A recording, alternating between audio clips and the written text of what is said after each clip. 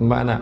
Strategi. Nak berhijrah pun nak kena ada strategi. Dah aku nak berubah, nak berubah apa? Nak kena tahu. Aku nak ubah diri aku. Ubah apa? Dah berapa tahun dah sambutan mahal hijrah. Berapa tahun nak baca doa awal tahun, akhir tahun. Tak ada siapa pun rasa apa yang dia patut ubah kadang-kadang. Penceramah macam-macam datang. Berubah-ubah penceramah. Berubah-ubah tarikh. Berubah tahun. Yang sama perangai. Kan? Apa sebab? Sebab tak nampak sebab kenapa berubah. Tanya, aku dulu semayang-semayang tapi ilmu tak ada. Belajar tentang semayang. Aku dulu mengaji tapi panjang pendek main lontongnya. Tak tahu panjang pendek. Mana botol salah, lantak lah. Jadi kono belajar. Kono belajar. Sampai masuk. Eh.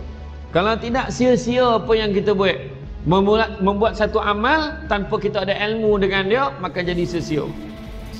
Orang semayang, kata semayang. Orang rukuk untuk rukuk, orang sujud lama, kita pun lama lah. Tapi tanpa kita faham, kita buat ikut-ikut apa beza kita dengan burung kakak tua.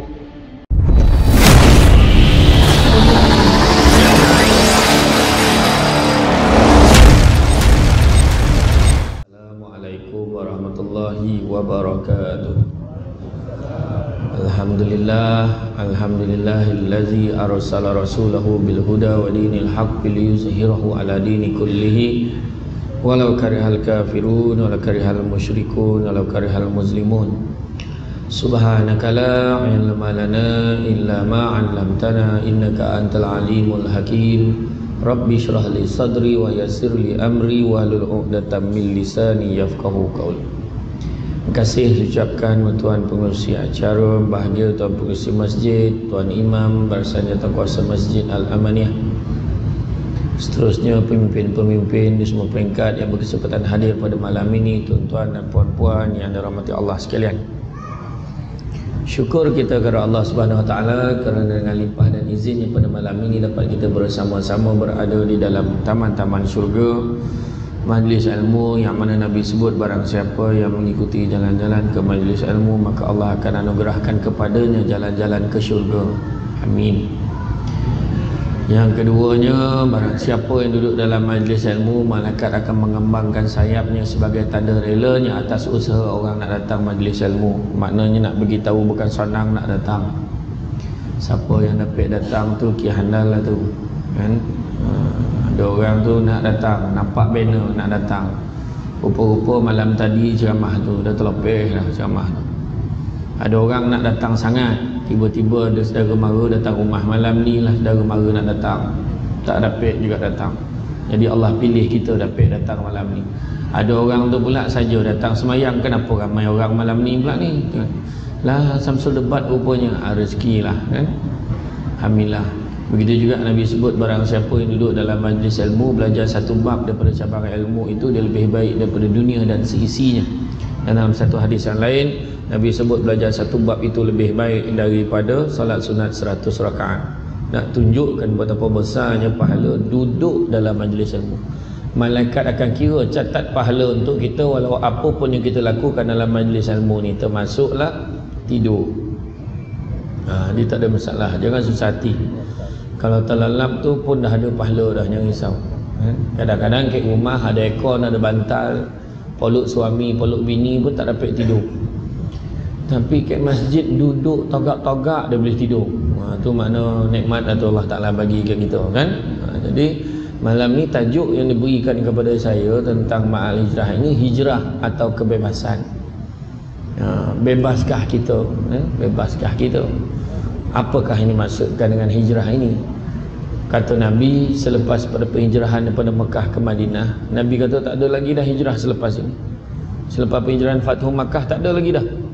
Yang ada cuma niat dan jihad. Nabi kata rupa-rupa berniat pun payah. Berniat pun payah. Tengok malam ni. Yang datang malam ni bukan semua niat kerana, kerana Allah. Bukan semua niat kerana nak dapat ilmu. Tak ada yang datang sebab nak selfie. Yang tak menyompek-nyompek dan baru sampai ke tangga sibuk ambil gambar. Macam itulah kira kan. Ha, macam itulah contoh. Ni tak bukan orang sini, orang tempat lain. Sini okey. Ha, sini okey. Ha. Tak ada masalah. Dah tengok niat dia apa. Kan? Tengok niat dia apa. Kadang-kadang ada orang datang, kau tiba-tiba sebenarnya jemaah malam ni kat masjid sebab apa? YB datang. Contoh. Kan YB tak nampak muka aku susah pula. Dia fikir macam tu. jadi dia dapatlah bagi YB tu tengok muka dia kemudian nampak kau datang ke masjid ni bini aku bising. Dapat dia lari daripada kebisingan bini dia. Macam-macam sebab orang dulu perkara dalam dunia itu sebab Nabi sebut inna a'malu binniat salah satu hadis yang popular yang sampai sekarang semua orang sabut sabut lagi iaitu berkaitan dengan hijrah. Sebab bukan semua yang ikut Nabi hijrah kerana kerana Allah. Ada yang ikut Nabi hijrah sebab dia suka dekat satu perempuan perempuan tu ikut Nabi hijrah maka dia pun nak ikut hijrah tu sebab dia suka dengan perempuan tu. Maka dia dapatlah ikut perempuan tu. Itu sebab Nabi sebut wa man kanat hijratuhu ila dunya yusibuha aw amaratin yankihuha fa hijratuhu ila ma hajara ilai. Barang siapa yang berhijrah kerana dunia atau kerana wanita yang dinikahinya nescaya manfaat hijrahnya sesuai dengan apa yang dituju kita tengok balik Nabi nak hijrah pengajarannya terlalu banyak kalau kita nak tengok bab hijrah ni Pertama-tamanya kita flashback balik macam mana Nabi mula-mula Nabi dalam peristiwa Isra' dan Mi'raj. Nabi sedih benar waktu Isra' Mi'raj tu. Kenapa Nabi sedih? Nabi kehilangan dua manusia paling dia sayang iaitu isterinya Siti Khadijah dan juga bapa saudaranya Abi Talib. Maka yang mengubat hatinya bila Nabi dijemput oleh Allah Ta'ala agar berdatang bertemu dengan Allah. Dijemput dengan seekor burak dan juga ditemani oleh malaikat Jibril. Malaikat Jibril pun bawa. Bila bawa Nabi kita Kena bawa agak cerita ni Sebab orang kita gamar dengan cerita. Dia gamar dengan cerita. Tak ada cerita baru ke? Macam tu ayat kan? Ada cerita. Jadi dalam perjalanan tu ditunjukkan lah Jibril kata lah tu Bukit Tursina ni Baitul Laham Kat mana Nabi Musa menerima wahyu dia Kat mana Nabi Isa AS dilahirkan. Dia tunjuk lah Atau kau nampak tu ha Yathrib Kenapa dengan Yathrib Tak lama lagi kau akan berhijrah ke sana Ya, kau akan berhijrah ke sana. Maknanya ya, trip ni Madinah hari ni. Maknanya Nabi dah tahu dah yang Nabi akan berhijrah tak lama lagi. Ha, bila dah tahu Nabi berhijrah, so Nabi tak adalah terperanjat. Ha, ni flashback balik. Kemudian ringkas cerita. Bila Nabi datang dari satu tempat ke satu tempat, Nabi naik sampai jumpa dengan Allah. Allah Ta'ala sebut apa? Allah Ta'ala sebut antara bila dah minta, bila mana Allah Ta'ala suruh kau dongakkan kepalamu dan bermohonlah. Allah Ta'ala suruh. Bila suruh minta Ringkas itu Nabi tak minta apa-apa Seolah-olah menyerahkan pada Allah Ta'ala. Apa kau nak bagi, bagilah ya Allah. Allah Ta'ala sebut yang pertama Wahai Muhammad Aku angkat kau sebagai kekasihku. Ha, yang pertama. Declare yang Nabi Muhammad kekasih Allah Yang kedua Aku jadikan kau sebagai penyampai berita gembira Dan juga amaran buat umatmu. Ha, Cukup dua Ada banyak lagi. Yang tu kena panggil pula Isra Mi'raj nanti. Ha, Booking awal-awal. Ha, saja. Sanap jangan cerita ni tapi setakat tu lah saya beritahu sebab tajuk malam ni malah nak ambil sikit dia. Sebab apa? Nabi penyampai berita gembira dan amaran? Sebab Nabi dah nampak semua. Nabi dah tengok syurga Nabi dah tengok neraka Nabi dah tengok sesaat-sesaat untuk umat-umat dia macam mana yang mengumpet jadi apa yang mengutuk jadi apa tak bayar zakat jadi apa yang berzina jadi apa yang macam-macam lah buat yang tak amanah jadi apa makan harta anak yatim jadi apa semua Nabi dah tengok Ha, jadi tu sebab Nabi penyampai berita gembira dan amaran buatmu, buat umatmu. Tu sebab Nabi semangat nak sebarkan dakwah sebab Nabi dah nampak apa kesan dia. Sebab Nabi nak pujuk semua orang masuk Islam. Hanya dengan Islam je kita boleh selamat. Okey. Cukup setakat tu Isra Mi'raj. Jadi bila Nabi diperintahkan oleh Allah untuk berhijrah, maka Nabi oh tidak, eh pun tidak. Maksudnya Nabi tidak bertangguh sebab Allah Taala dah suruh perintah Allah jangan tangguh. Tu dah. Ha, kan? Bila suruh berhijrah, tak ada Nabi kata, nanti lu seminggu ke, dua minggu ke, bagi tempoh sikit. Ini tentera kafir Quraisy dah keliling rumah dah. Semua nak bunuh aku ni. Bagilah masuk sikit. Tak ada.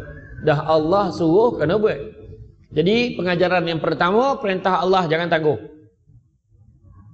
Bila dapat surat, pergi haji, Panggilan yang terakhir Senarai simpanan Ji nama Haji dah hana naik Besok Haji kena siap Besok Haji kena bagi Besok gila lah kau ni. Kita cakap dengan pegawai tabung haji tu. Sebenarnya bukan pegawai tabung haji tu punya kerja. Kerja eh, dengan izin Allah Nama kita naik senarai simpanan. Jadi tetamu Allah Jangan salah Jangan salah tanggap Bila kita silap membuat penilaian Maka padahlah jawabnya Sebab ada hamba Allah yang bercakap seperti itu Huh, dah hujung-hujung mu nak panggil lagi baik tak payah pergi. Dia kata macam tu. Ada satu hamba Allah tersebut macam tu sampai dia tapi dia pergi jugalah. Bini dia marah, abang ni apa cakap macam tu? Sampai di Makkah jajak kaki tumbang, koma tak sadar. Ha, kemudian bawa balik. Buat jugalah. Tolak pakai wheelchair tu bawa mana yang boleh bawa tu. Syarat aja. Lepas tu naik kapal terbang sampai dekat dekat sama nak bawa pergi hospital kata tak payah bawa balik rumah isteri dia kata. Sampai rumah baring tiba-tiba dia sadar. Elok tak sakit apa. Menangis dia sebab tu cakap tu. Kita ni kata kek Makkah dengan Madinah kan mulut jangan jangan main-main. Kena cakap lah elok. Bukan Makkah kek Madinah kek Batu Kif pun mulut kena elok. Ha, agama ayat macam tu. Kek Makkah mulut jangan celupa. Kek Salamban kau, kek kelumpur kau, mana-mana pun atas muka bumi Allah ni mulut kena jaga. Tu poin dia. Ingat. Bila kata tadi perintah Allah jangan tangguh. Abang dah pukul tiga dah bang. Abang tak zuhur lagi bang. Itu perintah Allah bukan perintah bini. Memakak lah kau. Belum masa lagi. Kita jawab macam tu. Maknanya kita menangguh-nangguhkan perintah Allah. Tanpa sadar. Bang dah pukul tiga lah bang. Abang tak zuhur lagi. Ya Allah, ya Allah, ya Allah. Terus masuk dalam bilik air. Ambil wuduk. Tulis semayang. Leko tengok wrestling. Tak perasan dah pukul tiga. Macam tu je orang perempuan bila suami dah lah tu maghrib dah ni kan. Kejap lah. Bukan selalu tengok utusan cinta buat adab ni. Ni episod terakhir tau. Wah, drama mak maghrib. Kan? Ha, kojo. Ya, saya tak tengok, tertengok. Saya masa tu saya ceramah Kek Muazzam, Kek Pahang. Kek Muazzam Syah lepas lepas saya semayang jamak maghrib dengan isyak. Ceramah ke 9 malam sampai isyak. Jadi malam tu jatuh kuasa masjid dengan jatuh kuasa universiti Unitan Muazzam dia nak makan malam dengan saya. Saya buka lah TV tu sementara tunggu dia sampai. Terkeluar cerita tu. Utusan cinta buat Adam. Kesian motor bini eh. Kena, kena rasuk. Ha, ya Allah. Sadih saya tengok. Eh. Iya, dah terbuka kan tengok. Ha. Kesian. Lobam-lobam motor. Macam ni lah keluarga pegang tangan kiri kanan. Imam pun datang siap tawar air tawar. Menjorit bini eh. Lepas menjorit tu bersambung. Tu aku malih tengok tu. Baru nak tengok dah bersambung. Malih tak terayu tengok lah. Macam tu lah. Jadi bila suami suruh tu bukan perintah suami tu. Perintah Allah. Ingat. Kemudian bila Nabi nak keluar, Nabi tinggal kat tingkap dia ni nampak kat luar. Rupanya tentera kafir Quraisy dah standby nak bunuh Nabi.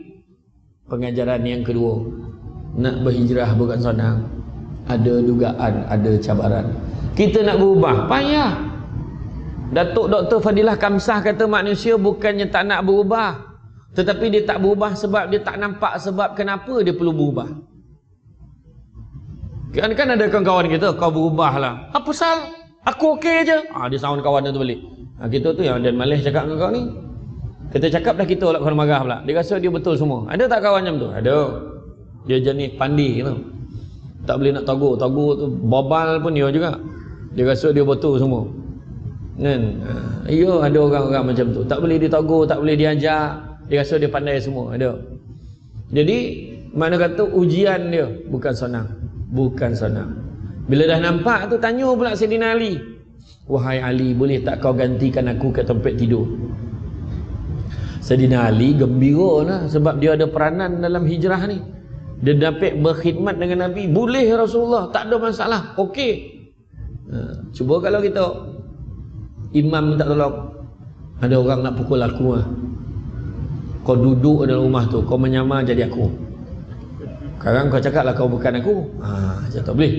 Apa jawab kita eh, nak mampu mampu seseorang. Jangan ajak orang lain. Tu lah agak macam tu lah. Tapi imam sini okey ramai nak ganti ni.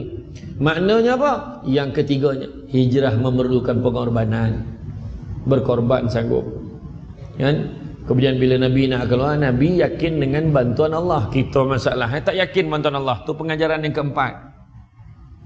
Kita dia kita gama sebut tiga perkara tapi gama buat tiga perkara apa dia nombor satu kita selalu sebut kita hamba Allah tapi gama buat benda yang Allah tak suka macam mana jadi hamba Allah tapi buat benda yang Allah tak suka macam mana yang kedua kita cakap rezeki Allah bagi tapi bila Allah Taala tarik nikmat sikit payahlah matilah dengan siapa nak minta tolong. Lupa. Kata rezeki Allah bagi. Orang perempuan bila tengok suami tak bekerja, abang macam mana bang nak bayar bulan-bulan abang ni? Sewa tak nak bayar kereta, nak bayar motor, macam mana anak-anak tuition ni abang? Contoh ayat eh. Saya kena lakonkan biar faham. Orang lelaki pun yang selalu yang memang jadi jemaah tetap Masjid Al-Amaniyah ni. Dia memang yakin rezeki pada Allah saya. Allah dah tulis rezeki abang di tempat kerja lama setakat semalam aja. Yakinlah rezeki Allah lagi. Besok abang start minta kerja tempat lain doakan. insyaAllah. Adalah rezeki tempat lain. Lagipun duit simpanan kau kan banyak lagi. Ha, nampak, nampak? Ujung yang ujung ni tak sadap tu. Kan hanya tu. Tapi makna kata yakin rezeki Allah lagi. Yang ketiga manusia manusia selalu sebut dia akan mati. Tapi perangai macam tak nak mati. Selagi boleh, apa yang boleh tangkap, tangkap. Apa yang boleh dia robot, dia robot pangkat selagi mana kalau boleh ke langit lah ke langit tu pangkat lah. Tak cukup sikit. Dulu kata aku nak kerja kerajaan dapat kerja jadilah. Dah dapat kerja boleh boleh. Aku kena naik lagi. Boleh kena naik lagi. Mana pernah cukup. Selagi tinggi dia boleh naik dia akan naik lagi naik lagi naik lagi. Bukan kata aku ada ni pun Alhamdulillah. Kalau ada rezeki lain Alhamdulillah juga. Tak dapat pun Alhamdulillah aku dapat ni. Macam tu Ya, tanya nak tak ni Lofa jadi bini? Ha, pak, pak. Ha. Koma masing-masing tak nak jawab lah. Kan? Ha. Ada yang Alhamdulillah isteri yang ada di rumah tu pun dah cukup baik dah. Tetapi kalau ada kota tambahan dengan keizinan apa lah salah eh? Contoh jawab kan? Contoh jawab kan? Ha. Syukur dengan apa yang ada. Kan? Dengan apa yang ada. Kita ni cita-cita boleh lah tuan. Ni lofa pun peduli pun tidak kita kan? Macam tu lah ayat kan? Men, tapi makna kata kita ni kadang kita terlupa. Terlupa. Hidup kita ni macam tu lah. Jadi itu sebabnya bila sebalik-balik cerita hijrah tadi, Nabi tadi semua yakin dengan Allah. Yakin dengan Allah. Nabi baca sebelum keluar rumah, waja'alna min baini aydihim saddan wa min khalfihim saddan fa ashaynahum fa hum la yubsirun. Kita semua tahu ayat ni dalam surah Fatihah. Ha, saya nak tengok kok ada yang ngangguk tadi. Ha ah tuan-tuan dia kan. Ha, asah lah ngantuk kan tu. Surah Yasin. Dimainkan tembok penghadang di hadapan mereka, dimainkan tembok penghadang di belakang mereka. Tutup pandangan mata mereka tu dan dia tak dapat melihat. Mata mandang tapi tak nampak. Tu Ustaz Kek Kelumpur tu cakap, baca ayat ni kalau nak elak speed trap. Ha, cuba baca. Kono jugalah Ustaz. Rupa-rupa eh, polis tu sebelum pasang kamera tu dia dah baca dulu. Jadi dia nampak gitu, kita tak nampak dia. Itu yang kono orang tu kan. Tak, ya, kita tak yakin dengan bantuan Allah masalah eh.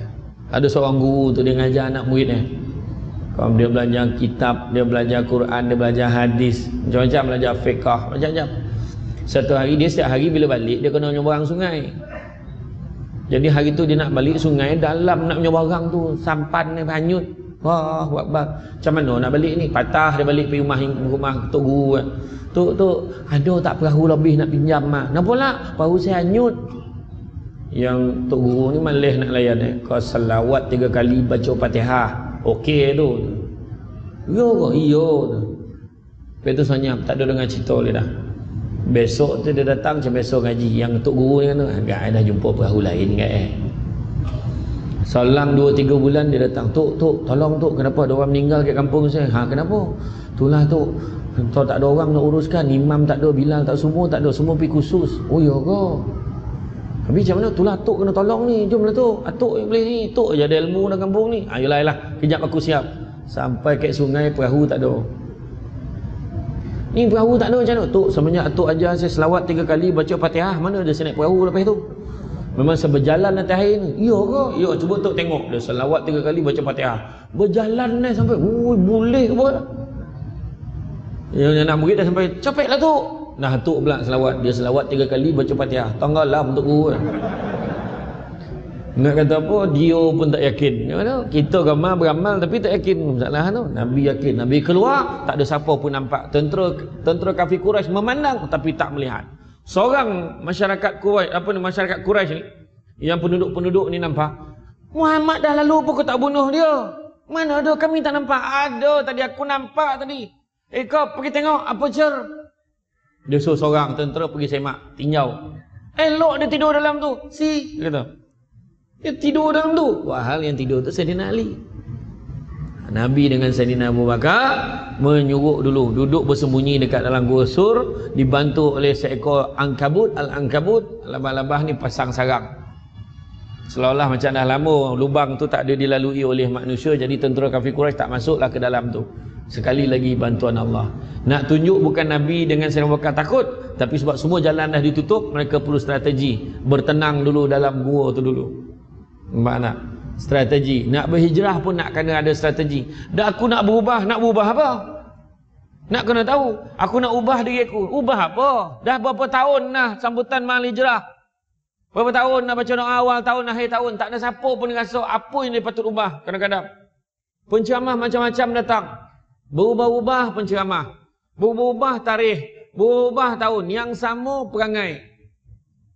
Kan? Apa sebab? Sebab tak nampak sebab kenapa berubah Tanya aku dulu semayang-semayang tapi ilmu tak ada. Belajar tentang semayang. Aku dulu mengaji tapi panjang pendek main lontongnya. Tak tahu panjang pendek mana botol salah lantaklah. Jadi kono belajar. Kono belajar sampai masuk. Eh. Kalau tidak sia-sia apa yang kita buat. Membuat, membuat satu amal tanpa kita ada ilmu dengan dia maka jadi sia-sia. Orang semayang kata semayang Orang rukuk kita rukuk, orang sujud lama, kita pun lama lah. Tapi tanpa kita faham, kita buat ikut-ikut apa beza kita dengan burung kakak tua. Kan? Orang mengaji, kita mengaji. Orang baca, kita baca, pandang minit, lari larau, bantai. Janji ngaji. Tu saya sebut, tak salah kalau kita bangang mengaji. Tapi kalau tiap-tiap tahun bangang mengaji, salah kita. Tu sebab kena belajar. Kat sini dalam Masjid Amaniyah ni, berapa ramai ustaz, imam, Ya, imam-imam pun boleh tolong ajar kita ngaji. Belajarlah, jangan malu. Yang patut malu dah lah, tak pandai, tak nak belajar pula. Belajar. Kan? Ha. Oh tu, kalau kita tengok kadang-kadang orang boleh rasa. Cuba tengok Piramli. Ustaz Piramli dalam kitab Peneka Bujang Lapuk. Cuba tengok. Ustazah Rusia Timah ngajar. Ada seorang anak murid yang tua tu jawab, jin mata toncet. Dia jawab. Kita golak masa tu. Tapi rupa-rupanya hari ni, murid-murid tua belajar. Tak heran. Sebab pun Nabi sebut suruh tuntut ilmu. Kan? Talibul ilmu faridah ala kulli muslim. Menuntut ilmu wajib pada semua orang Islam. Tak kira muda, tua, kecil, besar. Semua kena belajar. Sampai nak mati pun dia ajar ngucap. Nampak tak? Ni belajar. Jadi masa tu bila siang tentera kafir Quraisy serbu masuk tengok-tengok rupanya Saidina Ali kat dalam rumah. Masa tu Saidina Ali, anak Saidina Abu Bakar iaitu Asma kena tampeleng, kena tampar dapat khalayak ramai. Tanya, mana ayah kau? Mana Rasulullah? Mana Muhammad? Mana? Dia orang kena tampak, kena pukul depan orang ramai. Tapi dia orang tak mengaku. Dia orang tak tahu. Dia kata dia orang tak tahu. Pengorbanan. Setelah tiga hari, setelah tiga hari bersembunyi di Gua barulah Nabi dengan Sina Bakar meneruskan perjalanan. Diikuti dengan dengan rombongannya. Tapi masa dia pergi berhijrah ni, nak barang diingat yang jalannya Nabi ikut bukanlah jalan yang biasa dilalui oleh manusia. Jalan yang Nabi ikut adalah jalan yang biasanya dilalui oleh binatang-binatang liar. Ha, itu sebab siapa dah pergi Makkah, Madinah Madinah pergi Makkah, dia naik bas kan? Kita pergi buat umrah ke haji ke naik bas kan? 5 jam perjalanan. 5 jam perjalanan semua orang tanya Mutawif pukul berapa sampai Ustaz? Dalam bas ekon tu tanya. Ambil ni kau tak berhenti kena terkencing lah. Macam-macam lah kan. Macam-macam perangai. Kan? Mana yang daripada Madinah pergi Mekah pakai kain ihram. Talalap jagot. Oh, terasa macam dah tak ada kain ihram tu. Kan? Itu pengalaman orang yang pergi umrah haji dia tahulah kan. Ha. Bayangkan. Sedangkan Nabi itu kira kita. Kita tinggal kat luar. Kita tinggal pandang kat luar bas. Kita nampak bukit bukau batu-batu. Macam mana lah Nabi hijrah dulu ni. Masalahnya bukit yang kita tengok ataupun batu-batu tu masalah itu jalan elok. Bukan itu jalan yang Nabi ikut. Nabi ikut jalan lagi tauk pada tu. Dan Nabi jalan bukannya 6 jam. Macam kita naik bas. Bukannya 8 jam. 8 hari Nabi jalan. Ha, bayangkan tu. Semata-mata nak sebarkan agama ni ha. Ha, nak mempertahankan dakwah ni. Ha, macam itulah keadaan ni tuan-tuan Ha, kemudian bila sampai di Kuba, Nabi berhenti kat sana, benda pertama yang Nabi buat, Nabi bina masjid. Orang ni sembilan sebut masjid. Orang Batu Kif sebut mosque. Ha, masjid. Bina masjid Allah dengan tulang pek korek Nabi buat masjid tapi masjid tu taklah secantik yang kita pergi hari ni tapi nak bagi tahu apa penting masjid ni masjid Al-Amaniyah ni masjid paling aman dalam Malaysia Amaniyah. Kan? Aman ni oh ni sembilan semua aman ni Inilah masjid paling aman dan nak bagi tahu selagi mana ada masjid, selagi mana ada orang hidupkan jemaah sini, sejahteralah masyarakat sekitar. Sebab belum pernah lagi imam berdoakan, Ya Allah, kau sejahterakanlah kehidupan aku dan makmum yang hadir sahaja, Ya Allah, yang tak datang tapi mampulah, tak pernah. Tak pernah lagi imam doanya tu. Imam doanya ni muslimin atau muslimat, mukminin atau mukminat, al ahya imin wal abad doa untuk semua. Jadi orang tak pergi masjid jangan sombong, jangan kutuk orang pergi masjid. Nah, tu ingat tu. Tu sebabnya hidup dalam masjid tuan-tuan. Cania punya selesa. Bayanglah Ekon berapa banyak lah tu Dua, tiga, pek, lima, enam, tujuh ha, Tujuh Campur dua hanun Tak ilah Lapan Dua boleh dengan kipih ni dengan blower penceramah tetap berpeluh. Tak tu pahal. Oh, nampak? Lampu ha lampu cendelia ha lampu orang kayu ni. Ha, tengok kapet tabah kalau sujud terbenam muka. Apa lagi nak? Datanglah kan? Imarah ke masjid. Nabi dah tunjuk benda pertama. Sebab sinilah masjidlah tempat pembangunan masyarakat. Ha, ya? Nak azan dulu ke kau sambungnya? Nak azan dulu apa azan tu? Azan okey.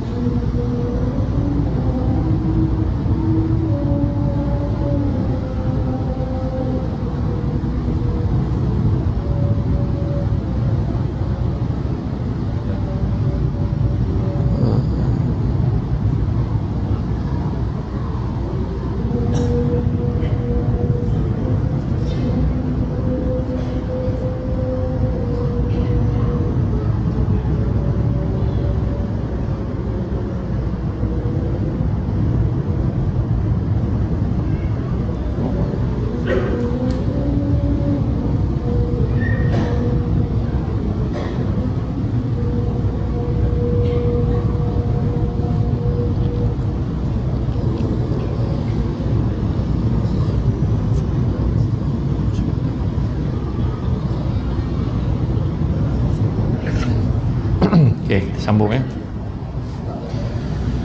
Ha, jadi nak tunjukkan bila banner masjid tu sebagai tanda itulah pusat yang pembangunan masyarakat nak bangunkan negara, nak bangunkan negeri, nak bangunkan ha, ni kesatuan ummah di, di kalangan kita. Nak bincang ekonomi ke bincang apa ke masjid boleh tak ada masalah semua. Sekarang ni pun dah ada masjid buat koperasi lah. Buat kedai-kedai runcit ada alternatif balik semayang boleh itu kan? Ha, jadi Alhamdulillah dengan harga yang jauh lebih murah daripada luar. Mudah-mudahan kan? Macam itulah sepatutnya fungsi ya.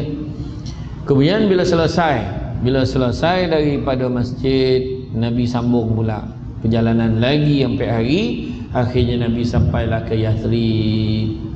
Ketibaan Nabi ke Yathrib ni disambut dengan gilang gemilang dengan penuh kegembiraan.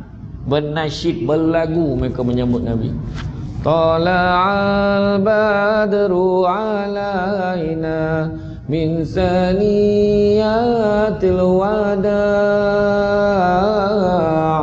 وجب الشكر علينا ما دعا لله داع senyum macam tu ha? riang menyambut Nabi bini tu Tala'al badara alaina Kau marah ke apa?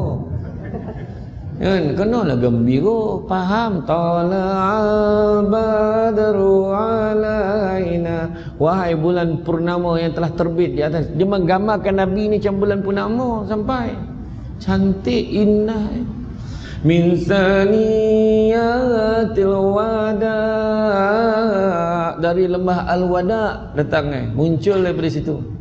Wajib syukru alaina. Dan wajiblah kata kami untuk mengucapkan syukur.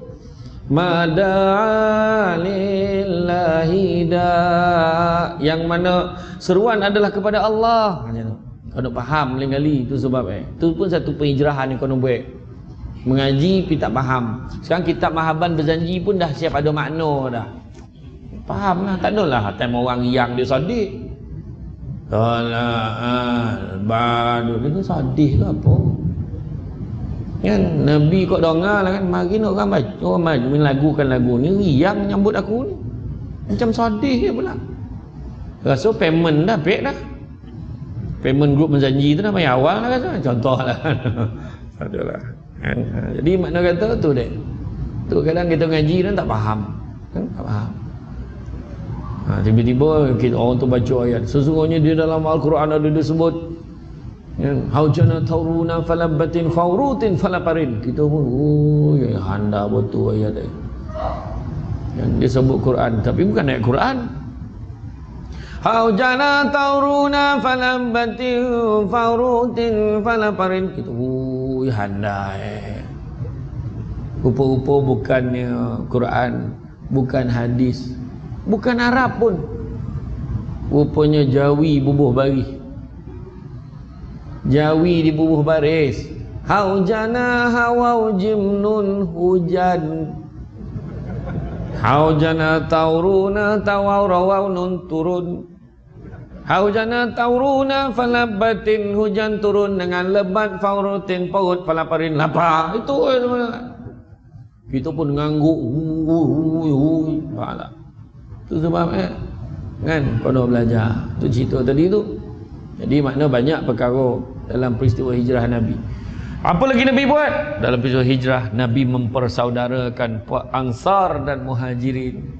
Puak Muhajirin yang datang sehalai sepinggan Bukan sepinggan, sepinggang. Tak ada apa pun yang dia bawa. Yang puan Ansar saya beritahu aku ada ramai bini mana satu kau nak kau cakap yang mana kau nak cakap. Dia pula tidak mengambil kesempatan atas kebaikan saudaranya. Tak apalah. Aku dapat tanah bercucuk tanam jadilah. Macam tu ha? Cuba kalau kita bini ramai suruh pilih. Macam mana? Eh? Mana satu kau nak kau cakap? Sania kan. Hmm. Enggak lah kan. Ha. Eh, yalah, joki jangan ditolak kan?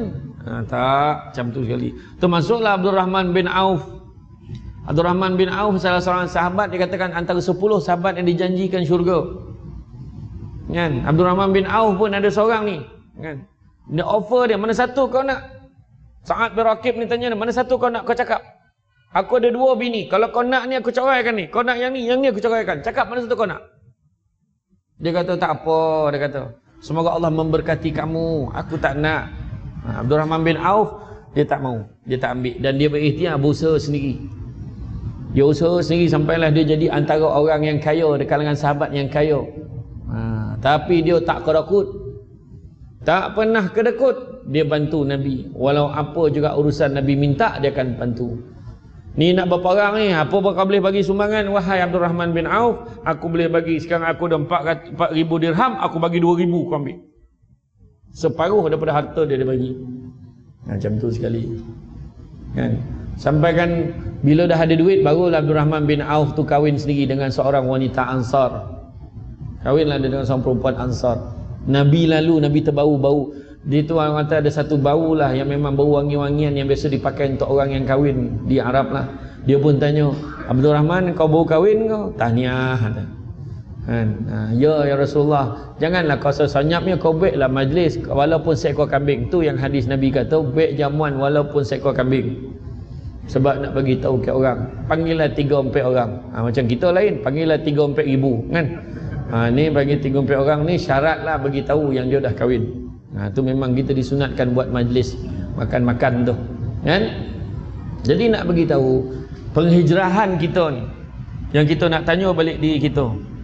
Berubah tak kita ni dalam masyarakat kita? Berubah tak kita pada dulu sampai sekarang? Kalau tanya Imam Nawawi, Imam Nawawi kata berhijrah itu adalah bertaubat. Imam Nawawi kata, jadi kalau betul lah tajuk yang diberikan malam ini hijrah atau kebebasan, maksud salah satu hijrah adalah bebas daripada dosa. Tapi kita sebagai manusia tak dapat lari daripada dosa. Tak tahu lah kalau ada yang beli hengkit tangan, Alhamdulillah Ustaz. Setakat 2019 ni belum ada dosa lagi dah. Puas fikir dah pada awal tahun sampai sekarang. Tak ada dosa. Dia bercakap tu pun dosa dah. Hmm, tak kan? Ha, punya belagak kan? punya. Mesti ada dosa. Tadi saya lalu tadi berapa ramai yang cakap. Kecil hati saya. Tinggi ya, tinggi ya. Mak tu. Amin. Salah kau dan tinggi. Saya tak nak tengok manusia tinggi di dunia ni. Tinggi juga ustaz eh, tinggi ya. Ambil gambar. Amat ujung tu. Ujung tu ambil gambar. Nak tunjukkan seven wonders of the world. Ya, tunjuk keajaiban dalam Malaysia ni. Yang seorang tu lagi lah dalam TV nampak gemuk kau hajar betul tapi tapi saya maafkan dah senang supaya tak dituntut akhirat soal. Tapi itu cerita, kita ni semua ada dosa. Semua ada dosa. Jadi perhijrahan yang kita nak buat ni apa? Yang paling senang. Nombor satu, hijrah ni lidah kita. Lisan kita. Cakap benar-benar baik. Mengaji, berzikir, ingat Allah banyak-banyak. Liman kana arjullaha wal yamal akhir wa zakarullaha katsira. Barang siapa nak rahmat Allah dan nakkan hari akhirat, maka ingatlah Allah banyak-banyak. Tu Allah dah pesan dalam Quran.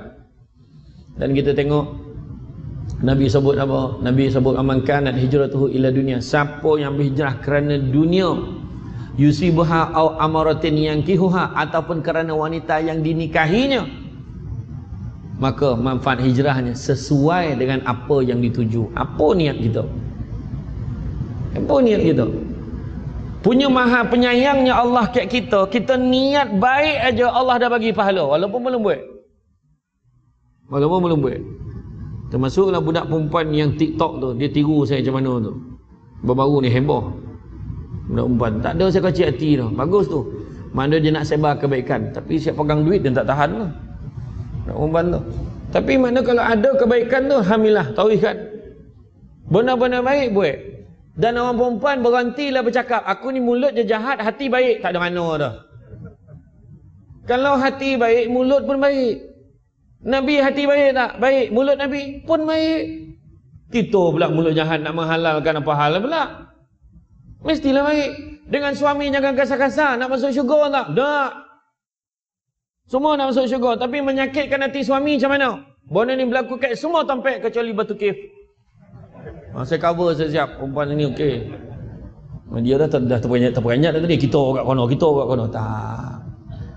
Betul tak? Orang perempuan senang masuk syurga. Orang lelaki payah, lambek masuk syurga sebab banyak soal jawab. Tengok ni, semua muka neraka ni. Termasuk yang bercakap ni, bukan cakap orang. Banyak soalan kena tanya, orang perempuan kena ingat tu. Tu sebab kalau apa-apa berkaitan dengan suami, jangan banyak cerita, buik ya.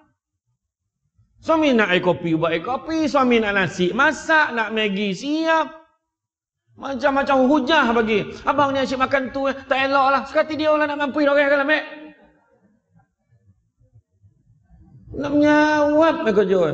Nak apa ke bang cakap? Abang nak kopi oh. Ais ke nak sejuk ke nak panas? Bang cakap. Kena suam-suam. Bolehlah sejuk sikit hati dan panas. Okey bang, settle. Suami balik, abang nak kopi, tea or me? Oh, macam tu lah soalan ni ha. Dua ha. Apa lagi bang? Abang nak apa lagi? Nak kuih cakui? Mek kuih cakui. Kau nak tak kuih cakui ni? Nak karipap? Buat karipap. Apa lagi nak cakap? Nak sign? Sign. Payah mana? Mana nak sign bang? Cakap yang mana, mana, mana? Jangan baca pun. Dah suami kita selesai tu. Bagaimana baik tu? Sebab suami nak transfer tanah tu nama kita. Cuba jangan sangka buruk. Pasal saya ni, ha, mak tu. Iya. Sebab eh, kita ni baik-baik kan orang perempuan paling senang masuk syurga. Banyak benda baik baik. Tapi dia gambar ngungkit tu. Abang dah lupa kan dulu apa benda saya tak buat untuk abang. Ha, palau padam. Saya gosok baju untuk abang, padam. Saya masak untuk abang hari-hari, pahala hari-hari padam. Bayangkan. Selahirkan tujuh anak untuk abang. Padam. Jangan ngungkit. Rugi. Cuba tengok orang lelaki. Mana nak ngungkit? Sebab dia tak tahu nak ngungkit apa. Apa pula dia nak balik ni? Sonyap lah hambaan. Ya. Tu sebab kalau nak marah suami dah macam-macam sebab untuk abang dah. Apa dia? Lu fikirlah sendiri. Macam tu cakap. Jadi senang tak ngungkit. So dipikir. Macam tu tak apa. Ya kadang. Lisan mulut nak kena baik gantikan bercakap benda baik. Kita tukar dengan apa? Tukar dengan berzikir, tukar dengan mengaji. Kan? Kami malam Jumaat baca Yasin dengan ramai. Kan? Ha. Tukar. Kan mulut kita ni baca yang elok termasuklah ni lisan berjari ni.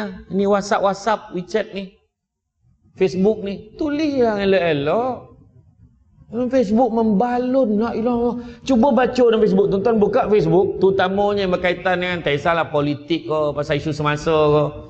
Membalun, mencarut, maki hamun bagai. Soalan tanya satu je, Nabi ajar tak macam tu? Nabi tak ajar. Teruk bahasa kita. Mana poin nilai menegur dengan hikmah mana? Kepala bapak semua keluar. Semua keluar mencarut tak ada segan silu dalam tu Allahu Akbar bono ni kadang-kadang bono ni yang kadang kesal kita kan ha. nak kata tak ada ilmu ada ilmu masing-masing kategori kalau tengok dia punya latar belakang biografi dia punya tu cara dia belajar tu dia kau pun elok-elok tapi cakap Allahu Akbar kan cakap yang elok-elok apa salah kongsi Jangan lupa malam ni ramai-ramai datang ke Masjid Al-Amaniyah di Batu Caves malam ni kuliah maghrib. Kita share dalam WhatsApp, orang ni share pula kat orang lain, orang lain datang sebab orang lain share sebab kita bagi mula-mula dapat saham. Bukan payah mana. Mana-mana tak elok share. Malam di dangdut. Secara terbuka percuma. Dengar kan? Dengar kan? Iyalah datang dengan ceramah malam ni pun percuma datang percuma. Mana kau nak bayar? Paling kuat pun kau nak bayar penceramah. Jangan lupa pula. tak ada lah saja. tak ada lah. Tapi memang iya pun ada kau nak bayar. Mana ada kau nak bayar datang lah.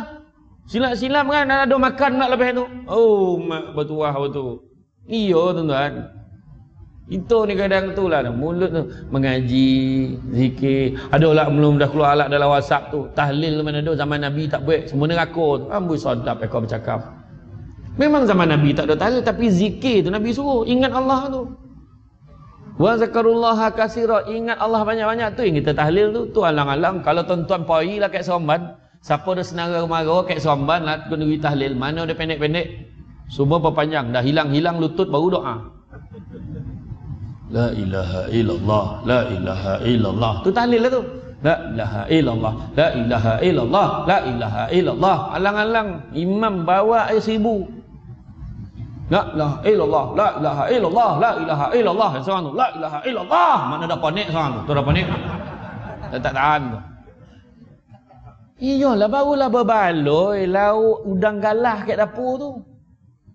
Ini terdarah Saya fikir zikir sikit-sikit ya. Yang biar ni lama. La ilaha illallah. Panjang tu zikir malam ni. Ha, macam tu ha. Al-Fatihah. Doa pula tak reti berhenti. Tak jumpa noktah. Bila lah dia jumpa Alhamdulillah Rabbil Alamin ni. Oh, doa macam-macam minta. Itu yang orang yang kalau tak biasa. Imam ni tolak balon ke cari balon ni dia. Doa yang tak ada salah dia minta betul-betul. Sebab dua pahala paling besar dalam kenduri tahlil. Pertama zikir, kedua makan. Ia makan tu sebab niat dia, tuan rumah tadi nak sedekah untuk arwah. Tapi pahala. Kan Nabi dulu kita pernah kan pernah kita baca macam mana sahabat tanya, "Ya Rasulullah, macam mana cara aku nak buat baik dengan mak ayah aku kalau mak ayah aku dah tak ada?" Nabi kata, "Buat baik pada sahabat-sahabat dia." Balik kampung, jumpa Cik Leha tu ha, kawan arwah mak kita. Assalamualaikum Cik. Salam siapa ni? Anak Cik Nap lah. Nap anak. Oh Nap lah ilawa sehat mak kau. Dah 10 tahun meninggal dah Cik. Ha? Baru jumpa semalam. Dah kacau. Wah, dia dah tak ingat kan? Dia tak ingat dia kata berjumpa semalam. Tak apalah cik ni ha dia bawa. Ya Allah Milo, kau bagi topung gula lah, makasih lah. Topung gula, ya Allah, macam-macam bagi. Duit tak ada kau. Ada, ada, ada, ada, duit. Bagi duit, bagi duit lah. Niat untuk arwah. Iya, saya kan kawan arwah abah saya kat kampung mak saya kat Pancu, kat Pancu, kat Somban tu.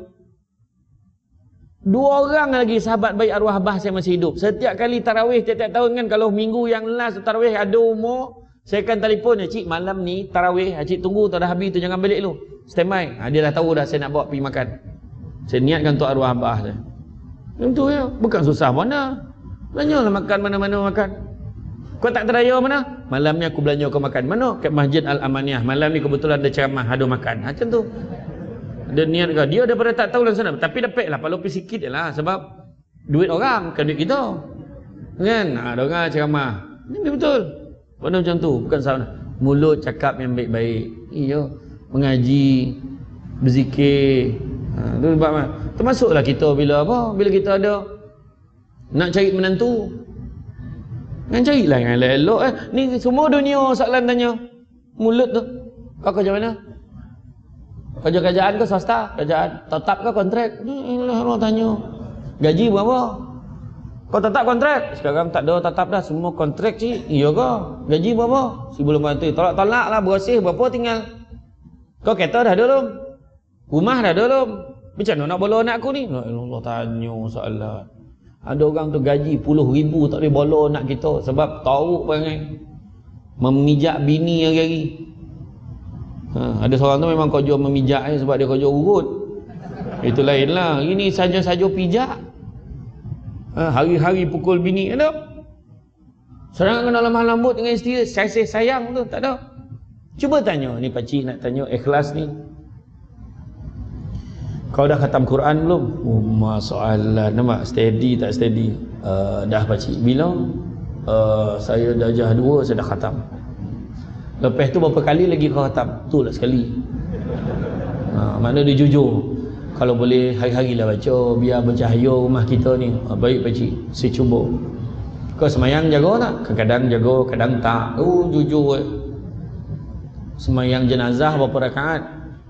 Menung kawan. Alah, saya dah baca dah ni. Rumah dah baca. Semayang jenazah berapa rakaat? Dua rakaat, pakcik rakaat pertama tujuh kali takbir. Itu semayang gayo, bingai. Tengok, Dia tak tahu. Kan tu belum cerita lagi. Yang ada tiga orang datang rumah tu. Semua kan nak kan nak perempuan tu. Kau nama siapa? Nama saya Mat Duha. Aku baca surah Duha. Umma eh. Lepas kawan tu pun baca Wadduha walaili iza sajama Wadda'aka rabbuka wa ma qala Walal akhiratu khairul laka minal ula. Sampai habis. Bagus. Ha, Kau nama siapa? Budak yang kedua tak? Nama saya Anas pakcik Aku baca surah Anas. Lagi lebar soalnya budak tu. Surah pendek. Bismillahirrahmanirrahim. A'udzubirabbin nas Malikin nas. Yang ketiga dah berapa lu Nama Yasin Mampuilah dan ni kenapa lah abah dan bagi nama dan macam ni. Aduh ha, parahlah ni. Apalah akal dan apalah akal dan ni. Sudah habis yang seorang tu ha kau kau kau siapa nama? Pakcik, nama saya Yasin Tapi mak ayah saya panggil saya Kuala Wahad. Lagi parah. Nama gola lagi panjang daripada nama betul Nampak nama bohong kau ni? Takkan nama kau lagi panjang pula Agak-agak lah. Tak ada pakcik suruh kau baca surah Yasin yang kau isap Kau baca ayat lazim mana kau tahu. Confident ni. Nama saya Yasin Mak ayah panggil Kuala Wahad. Lagi panjang mak kan. Itu dia Lidah kita Cakap yang baik-baik. Jangan cakap bono-bono yang tak elok. Kan? Yang kedua, jaga apa? Ni, mata kita, pandangan mata kita. Hijrah mata kita ni, lepas ni mandang yang elok jangan pandang benda-benda tak elok, jangan pandang. Ya, paling bahaya ni ni. Macam-macam tengok dalam ni.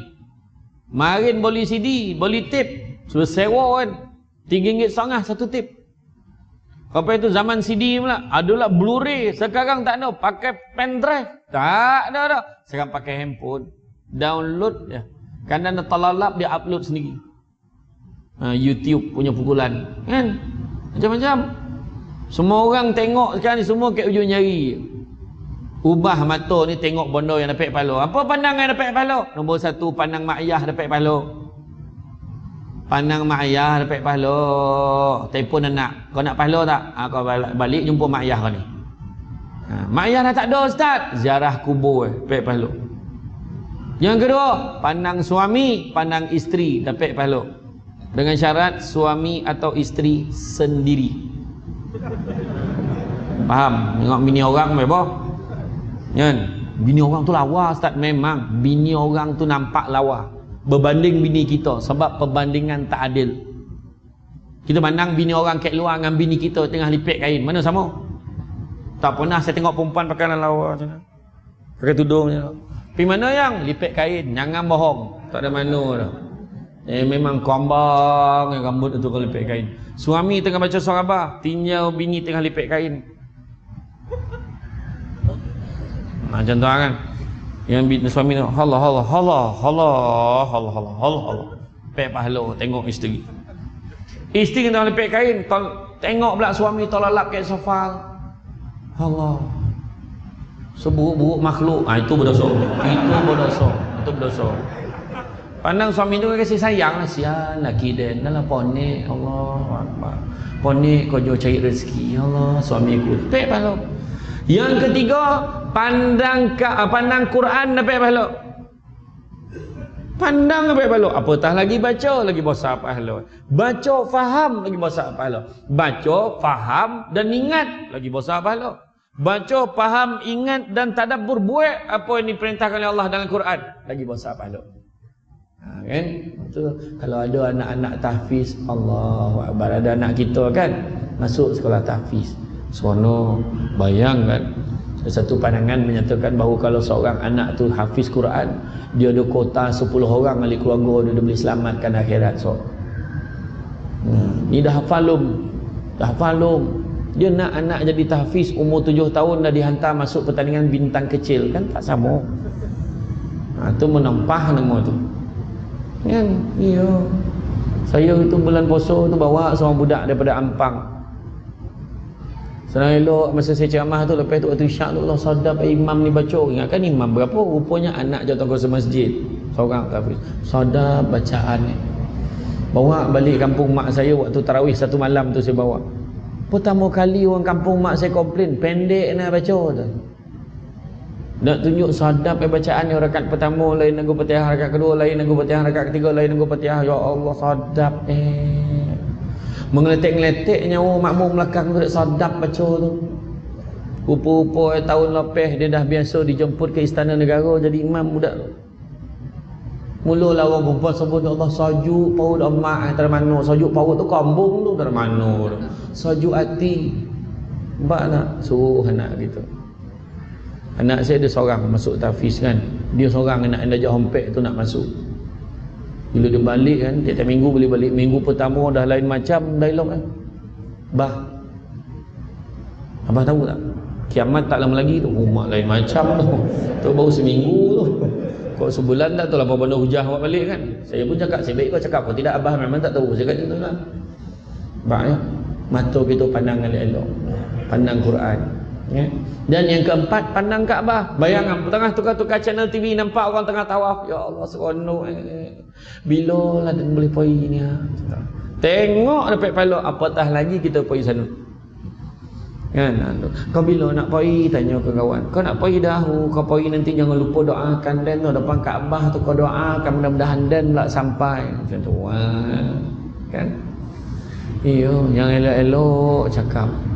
Dan orang kan bulan seboleh ni boleh pergi tahu dengan banyak offer pergi dengan Samsul Debat. Ha?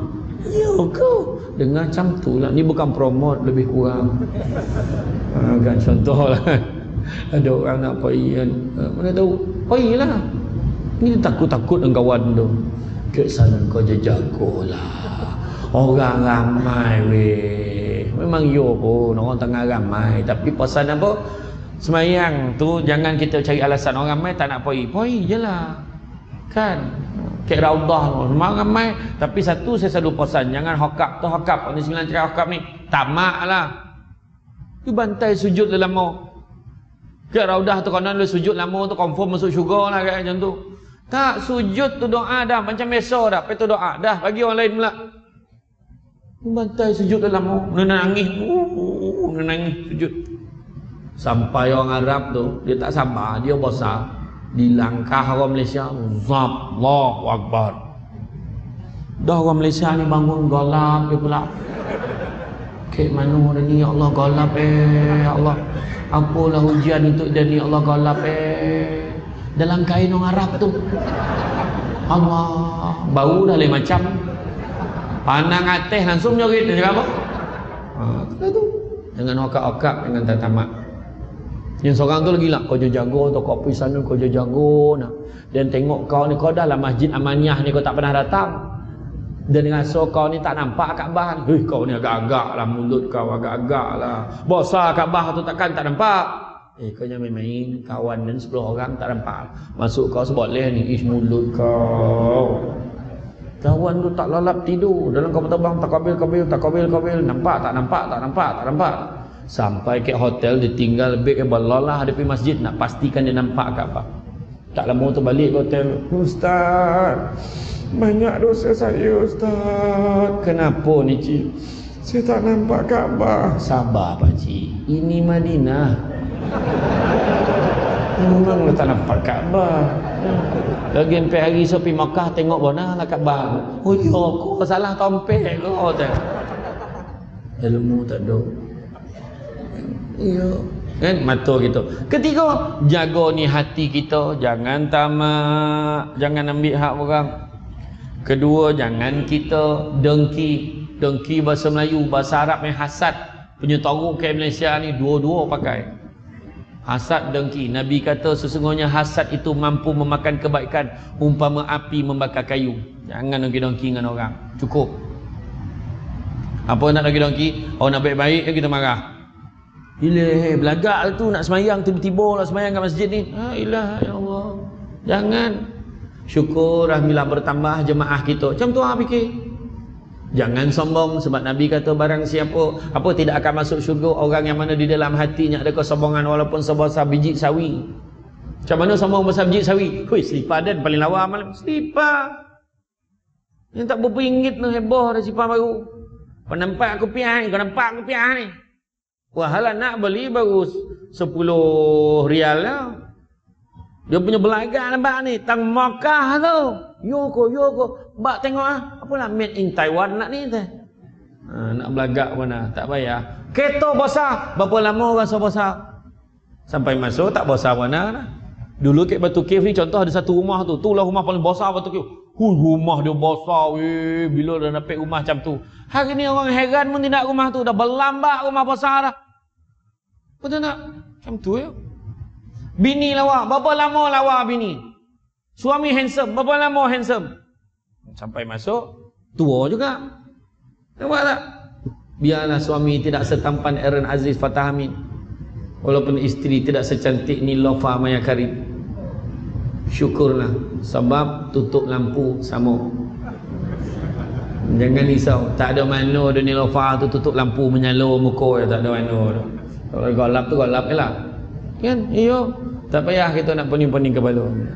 Samsul debat okey je datang ceramah naik azia okey tak ada apa tu daripada tadi saya sampai orang tak roti ya. tak siapa orang parking sini eh tak ada macam tu lah kan ha.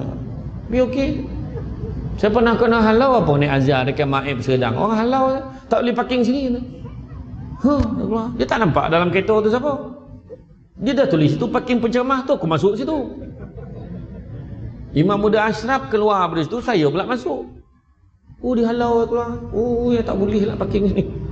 Saya pun keluar sampai bawah budak rela tu ustaz atas naik balik la ilah Allah kajut. Sampai atas yang perkatua security tu nampak dogi betul Azia ni naik balik macam ni ada bukan kayu. Saya pun turun comin. Lah ustaz. Apa bawa kereta koci dia kata. Saya pun jawab lah sebab minyak dan bukan kau bayar. Banyak cerita kan apa saya peduli kan? Tak ada hal lah okey. Sama aircon dah orang sejuk eh kata kecil nampak ya Azia tu. Leather seat tu. Ha, tu sawi tu. Sombong sawi tadi cerita orang tu. Iya tenang tak ada warna pun. Biarlah kereta yang besar kereta kita kecil syukur kan? Bila servis tak bayar mahal mana mana itu ya poning-poning kepala apa naik motor apa kita poning-poning kepala naik motor syukurlah naik motor Orang tu jalan kaki. Ini kadang kereta tu lawa, berkilat, tak ada bawa pergi masjid dah. Bantai jalan kaki. Naiklah kereta, kuyup balik hujan. Eh, sayang, sayang kereta. Sayang kena poti, mampu langsung tak bawa kereta tu. Dah ada anak bagi kereta, bawa lah. Nanti orang cakap apa pula ustaz? Ajar hati ni jangan sombong-sombong. Naik kereta bawa kan kawan meh dan tumpangkan kau sekali. Tapi pahala. Macam tu lah. Buatlah. Itu ya tuan. Dalam hati jangan sombong. Seterusnya perut. Yang keempat, hijrah perut apa? Ubah lepas ni. Jangan benarkan benda-benda haram masuk dalam perut kita. Nabi pesan, carilah rezeki yang halal. Kerana sesungguhnya yang halal itu cukup buat kamu. Tak payah bening-bening kepala. Biarlah anda kerja biasa-biasa. Ustaz kerja kilang. Biarlah kerja kilang. Dapat gaji dan 7-800. Okey lah tu. Nabi dah pesan. Yang halal tu cukup. Orang tu gaji puluh ribu pun monong ni. Ah, monong ni. Kita dalam bank kita kalau ada 100 ribu. Kita Alhamdulillah. Bolehlah nak relax-relax sikit lah. Tak adalah pening-pening kepala.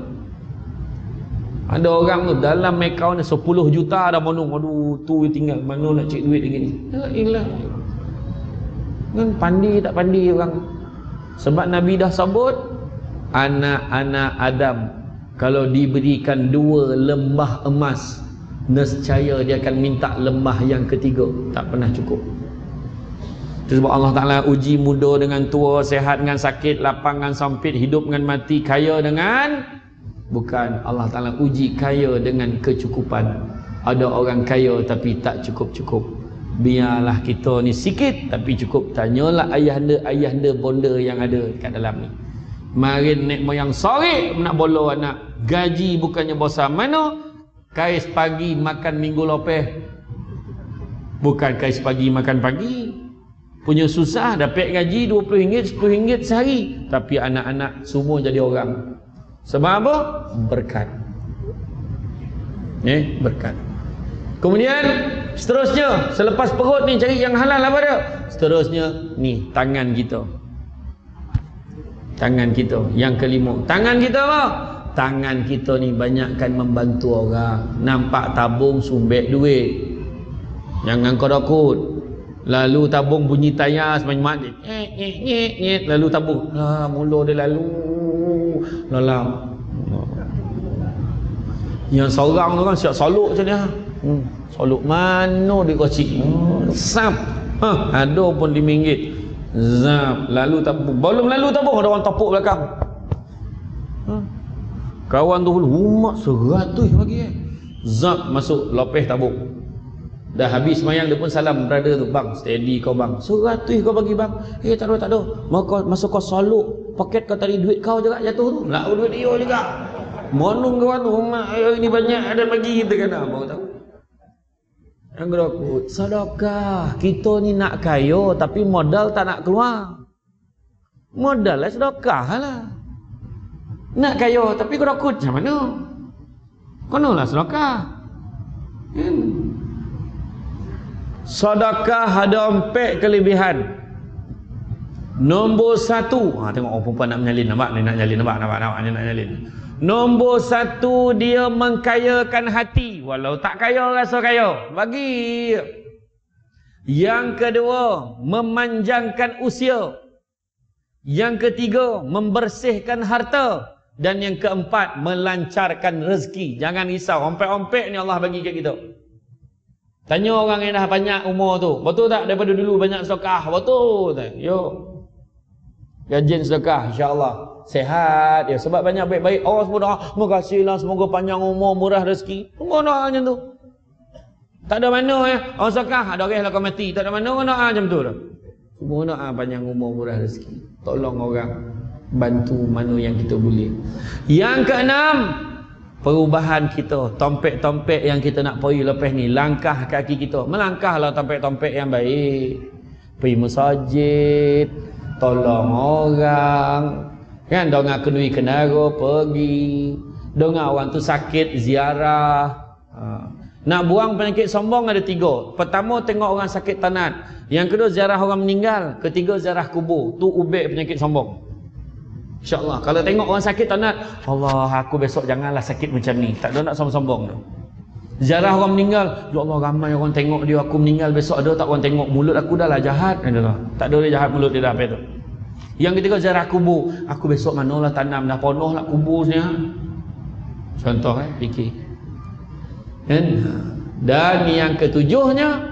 Penghijrahan kita dah sudah tentunya melihat kepada ketaatan kita kepada Allah dan Rasul.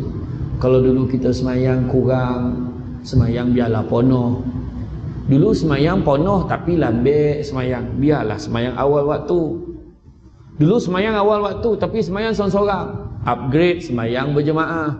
Dulu semayang jemaah dah tapi habis semayang tak boleh balik. Tak. Tambah pula semayang sunat. Zikir sikit doa minta pada Allah. Mudah-mudahan. Tambah dengan amalan-amalan sunat Dulu puasa sunat tak buat, sekarang nak buat puasa sunat, buat, buat puasa sunat Isnin kami. Buat. Kan? Kalau mampu pergi umrah, pergi haji, pergilah. Jangan saya simpan duit tu, pergi ya. Kita pergi bukan sebab dia ada duit, tak ada duit. Kita pergi sebab Allah izin kita pergi. Itu yang sebenarnya. Jadi insya-Allah dengan penghijrahan itu insya-Allah mudah-mudahan perubahan yang kita nak buat adalah berubah jadi buruk daripada buruk kepada baik. Baik kepada lebih baik lebih baik kepada lebih-lebih baik. Dan kita dapat mesej yang jelas dunia ini sementara sifatnya. Barang siapa yang tergila-gilakan dunia eh, Ibn Qayyum Al-Jawziyah bagi tahu ada tiga penyakit yang dia akan alami kalau orang yang gila dunia. Gila harta apa dia?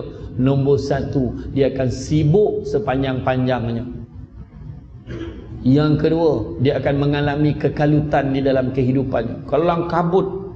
Ini tak betul, ini tak betul. Gila dunia. Dan yang ketiga, dia akan menyesali kehidupannya. Menyesal dia, kenapalah pada dulu aku tak sedekah? Kenapalah pada dulu aku tak tolong orang? Kenapalah pada dulu aku tak tolong adik-beradik aku?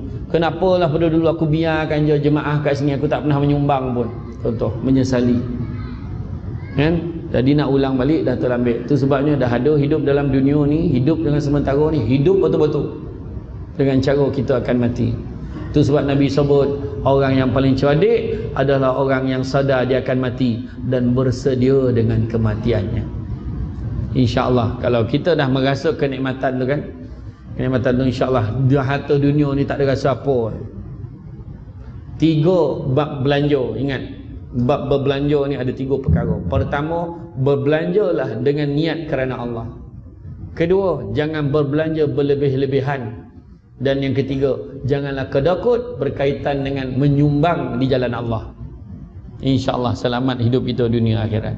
Ya, jadi rasa cukup dah sekat tu tuan-tuan. Lepas ini saya ada satu rakaman pula di Bandar Sunway. Satu rakaman. Jadi saya ucap terima kasih banyak insyaAllah kalau ikutkan daripada ucapan apa ceramah awal tadi insyaallah Isra Mi'raj kita jumpa lagi. Hmm, eh, booking awal. Tak adalah insyaallah. Terima kasih banyak tuan-tuan. Patut terima kasih banyak atas hidangan yang dah disediakan. Saya dah buat, dah berbuka puasa tadi. Lepas tu tuan-tuan kalau ada tuan-tuan berminat ada sahabat-sahabat saya datang daripada jauh. Ha, dia daripada jauh. Setiap kali saya ceramah dia ikut saya. Ada seorang tu daripada tabuh naning alu gajah Melaka dia bawa barangan-barangan sunnah ha, jadi belilah tuan-tuan. Jangan tanya khabar tanya harga bayar. Tuan-tuan tengoklah ada buah kurma ada habbatus sauda minyak zaitun. Kat luar tadi ramai yang menego ada baju jubah. Tengok tadi. Ha, tolong. Ha, kemudian begitu juga ada seorang lagi dia bawa madu. Ha, orang perempuan beli madu tu tunjuk kat suami bang ini madu yang diizinkan dalam rumah ni. Cakap macam tu. Dia ada madu labah, madu kululut. Begitu juga ada susu kambing tohur. Susu kambing tohur ni baik untuk orang yang gastrik. Macam saya Ustaz Aslim Bollywood, kita orang ada gastrik jadi minum susu kambing tu elok sebab susu kambing tu dalam tu dah ada buah tamar, dah ada badam sesiap dalam tu.